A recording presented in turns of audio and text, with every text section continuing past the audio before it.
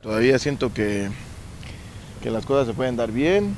Creo que vamos a tratar de, de hacer un buen grupo, de buscar eh, ser un equipo que, que, pueda dar pelea. Creo que vamos bien encaminados y eso es lo importante, ¿no? No, pues de a poco estamos agarrando la idea que él quiere. Creo que pues las cosas van saliendo bien.